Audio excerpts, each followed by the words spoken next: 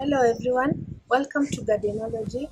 My name is Maggie and today I'll be taking you through the common pests and diseases that are found in both your gardens and, and the house plants.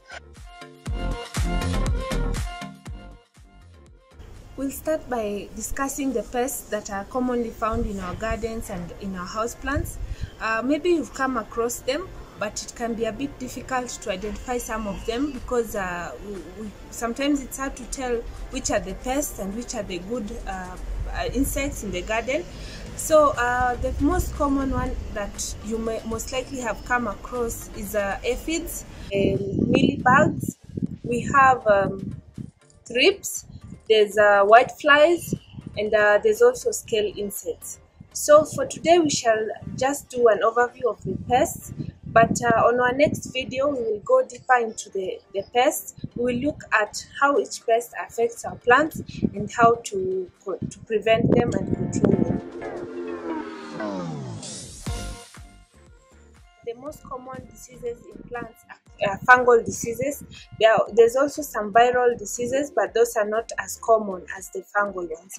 So for the fungal ones, we the most common disease is uh, powdery mildew which is uh, you can find it in a lot of plants, even house plants, and it comes as a, a white coating on the on the leaf surface.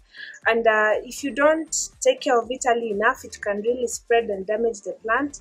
There's also another form of disease called downy mildew. Uh, there's sooty mold.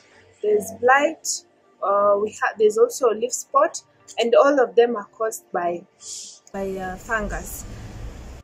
Most of the uh, plant diseases are caused by uh, moisture on the foliage. So to prevent uh, diseases on the plant, it's good, it's important to avoid wetting your leaves, your plant foliage. For example, if you usually water from the top, uh, it's it you should uh, look it like should change and aim to water the soil and not the leaves because if you if you wet the leaves, then the moisture encourages um, developing of these plant diseases. Uh, the other thing about uh, prevention in terms of pests and diseases is scouting.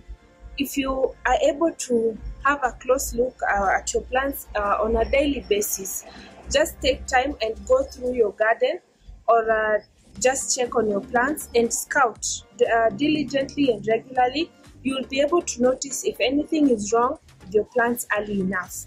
If you can see any abnormal changes, any kind of uh, leaf uh, curling or browning or yellowing, then you would be able to capture whether it's a disease or a pest early enough and control it before it spreads.